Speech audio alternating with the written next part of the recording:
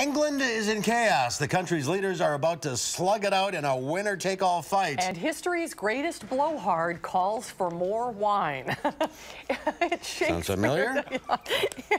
It's Shakespeare's Henry IV, and it's being presented this weekend and next by the Madison Shakespeare Company. Our Michael Bruno goes backstage with the bard.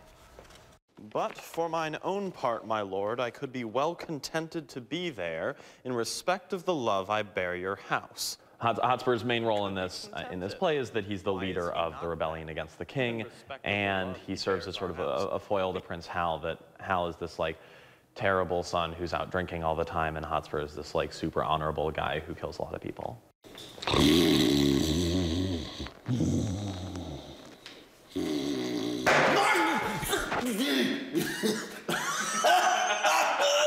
no, Hal. Oh, what time of day is it, lad? Yeah, well, I'm playing Prince Hal, and in the in the histories of Shakespeare, Prince Hal goes on to become Henry V. Now, in Henry IV, Part One, we see this interplay between Henry IV, the king, and and Prince Hal. It's all about uh, Hal and him going from one world to the other, uh, and it's a choice that he made uh, somewhere along the line, where he chose to leave the castle world and go to the tavern world and have tons of more fun. Much of the of the play uh, focuses on Hal is uh, in dereliction of his duties. He's not being a very good prince. He's ignoring the court, he's drinking, he's partying, he's all having a good time. When thou art king, let not us who are squires of the night's body be called thieves of the day's beauty. Let us be Diana's foresters, gentlemen of the shade, minions of the moon. And he meets a father figure type, and that person is Falstaff. Falstaff is an old soldier trying to make, uh, make his way in the world as best he can.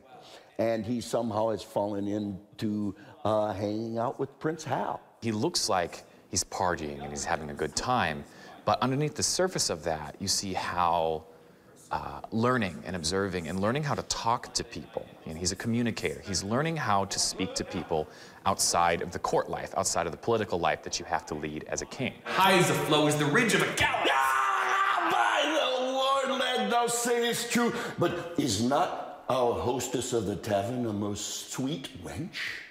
And kind of uh, become his mentor and his party friend.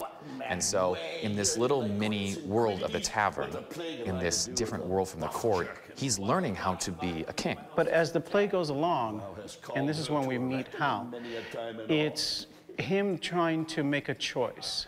Does he continue on with Falstaff, or does he follow the path that he's supposed to and become the next future king?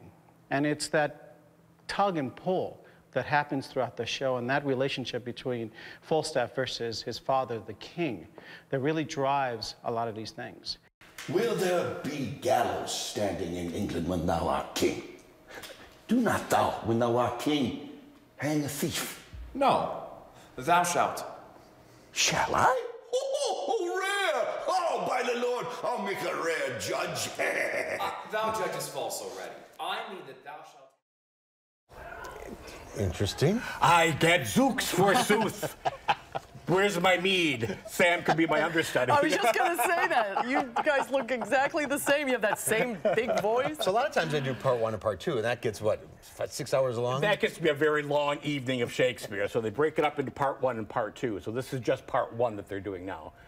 So it's this weekend and next weekend. That's correct. Okay. Yes. At the Bartell. At the Bartell Theater in the, in the small intimate Evjue Theater. So it would be interesting to see Shakespeare and I guess the audience is partitioned into three different parts of the show. So if you're seated in the pub part, you get to like you get to chant along and sing along with the with the characters in the pub. Oh, that's and then a good one idea. part is the throne room, so you have to act regal with the king in the throne room. So it's kind of participational, but you, they're not going to drag you up on stage and make you drink the mead or the Kool-Aid or whatever they have. this weekend and next at the Bartell Madison Shakespeare.org for information. Next week. Uh, next week, it's the Marvelous Wonderettes at the Palace Theater for Valentine's Day. Something a little different. Yes, do wop, do wop, giddy, giddy, do Oh, that'll be fun. All right, have a good weekend. Thanks, you. Michael. We'll be right back with the final check of your forecast.